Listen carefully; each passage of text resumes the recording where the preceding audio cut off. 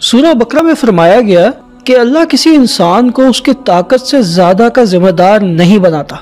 अगर हम इस बात पर ईमान ले आए तो हमारी ज़िंदगी से एनजाइटी और डिप्रेशन गायब हो जाएगा। हम में से बहुत सारे लोगों को ये लगता है कि उनकी ज़िंदगी में जो प्रॉब्लम्स है, उनको फेस करने की उनमें हिम्मत नहीं है। उन्हें लगता है कि उनके जो मसाइल हैं, उनके जो मुश्किल हैं, वो उनकी हिम्मत और ताकत से कहीं ज़्यादा बड़ी हैं। बहुत सारे लोग ये सोचते हैं कि उन पर जितनी जिम्मेदारियाँ डाल दी गई हैं, वो जिम्मेदारियाँ उठाने के वो काबिल नहीं है। यही वो सोच है जो असल में इंसान को डिप्रेशन की तरफ़ धकेलती है नाउमीदी की तरफ़ ले जाती है। हमें लगने लगता है कि हमसे वो काम लिया जा रहा है जो हम कर ही नहीं सकते। हम हेल्पलेस फील करते हैं और फिर होपलेस हो जाते हैं। अगर आपके सामने एक तिजोरी रखी जाए और आपको बताया जाए कि इसके अंदर बेबहा खजाना छुपा हुआ है और साथ ही आपको बहुत सारी चाबियाँ दे दी जाए। और आपको बताया जाए कि इन चाबियों में से एक चाबी ऐसी है जिससे ये तिजोरी खुलेगी और ये खजाना आपका हो जाएगा। तो हम यकीनन वो चाबी ढूँढने में लग जाएँगे। उसमें जितना मर्ज़ी वक्त लग जाए। हमें बेशक जितनी मर्ज़ी दफ़ा नाकामी का सामना करना पड़े, लेकिन हम वो चाबी ढूंढना बंद नहीं करेंगे।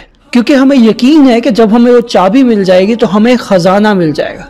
इसी तरह से हमने अपने आप को भी एक्सप्लोर करना होता है। हमें अपने आप को भी समझना होता है, अपने अंदर के पोटेंशियल को ढूंढना होता है। हमें से बहुत सारे लोग इस ढूँढने के प्रोसेस में गिव अप कर देते हैं। उन्हें लगता है कि शायद उनके अंदर वो पोटेंशियल है ही नहीं। लेकिन याद रखें जस्ट बिकॉज़ आप वो चाबी ढूंढते ढूंढते थक गए हैं डजेंट मीन कि वो खजाना उस तिजोरी में नहीं है। और अगर खुदा पे भरोसा रखते हैं तो ये चीज़ याद रखिए कि जो भी सिचुएशन आपके सामने है उसको फेस करने का पोटेंशियल खुदा ने आपके अंदर लाजमी छुपा के रखा हुआ है। आपको सिर्फ़ वो पोटेंशियल को अनलॉक करना है। आपको वो चाबी ढूंढनी है जिससे आपका पोटेंशियल अनलॉक होगा।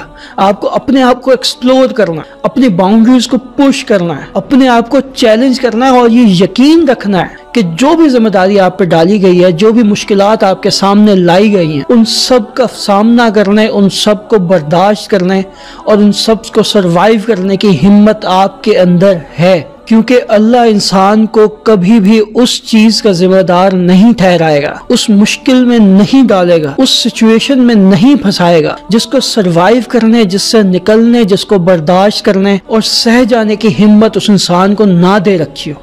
तो अगर आपको लगता है कि आपकी ज़िंदगी के मसाइल बहुत बड़े हैं, आपके ऊपर जिम्मेदारियाँ बहुत ज़्यादा है, आपकी स्ट्रगल बहुत बड़ी है तो फिर ये अंदाज़ा लगाएँ कि खुदा ने आपके अंदर कितनी हिम्मत, कितनी ताकत छुपा रखी है कि आप इन बड़ी बड़ी मुश्किल का सामना करने के काबिल हैं। आप कितने बड़े और अजीम इंसान हैं, आप खुदा के कितने करीब हैं। और खुदा आपसे कितनी मोहब्बत करता है कि उसने आपको इतनी सारी ताकत, इतनी सारी हिम्मत और इतना सारा पोटेंशियल दे रखा है। तो अगली दफ़ा जब आपकी ज़िंदगी में मसाइल आए, या आपको लगे कि आप बहुत सारी मुश्किल में घिर चुके हो, या आपको लगे कि आपके ऊपर जिम्मेदारियाँ उतनी डाल दी गई हैं जितनी आप उठा नहीं सकते तो उस वक्त ये याद रखना कि अल्लाह ने आपको इतना सारा पोटेंशियल दे रखा है। और आप में इतनी सारी हिम्मत छुपाए रखी है। तो उस मुश्किल हालत में खुदा का शुक्र अदा करना और यकीन रखना कि मुश्किल चाहे जितनी मर्ज़ी बड़ी हो, जीत आखिर में आपकी ही होगी।